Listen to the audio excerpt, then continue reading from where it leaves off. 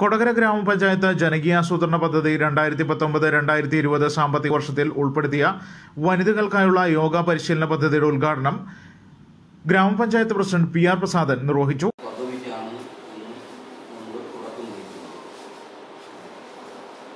രണ്ട് ലക്ഷം രൂപ നേരത്തെ പദ്ധതി വിശദീകരണത്തിൽ സൂചിപ്പിച്ചു.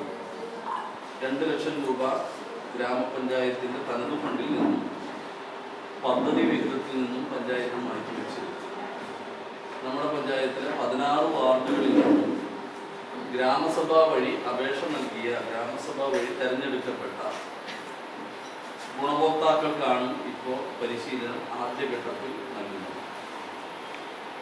ഈ പദ്ധതി പഞ്ചായത്തിന്റെ ഒരു സ്വപ്ന പദ്ധതി കൂടിയാണ്.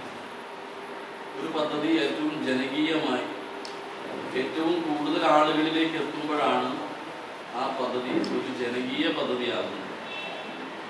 അത്തരത്തിലൊരു ജനകീയ പദ്ധതിക്കാണ് ഗ്രാമപഞ്ചായത്ത് വനിതകൾക്ക് യോഗ പരിശീലന പദ്ധതി.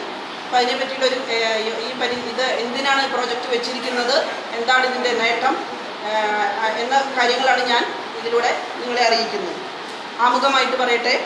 ജീവിതശൈലി രോഗങ്ങളും പകർച്ചവ്യാധികളും വർദ്ധിച്ചു വരുന്ന ഇന്നത്തെ കാലഘട്ടത്തിൽ സ്വസ്ഥന ആരോഗ്യ സംരക്ഷണത്തിനായും ആതുരർക്ക് രോഗശമനത്തിനായും അതോടൊപ്പം ആരോഗ്യം വീണ്ടെടുക്കുന്നതിനും ഏറ്റവും നല്ല ആരോഗ്യ സംരക്ഷണ ഉപാധിയാണ് യോഗ.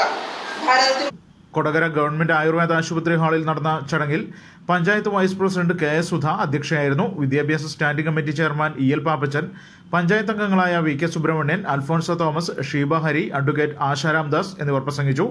കൊടകര ആയുർവേദ ആശുപത്രിയിലെ chief medical officer K V Rama പദ്ധതി വിശദീകരണം നടത്തി.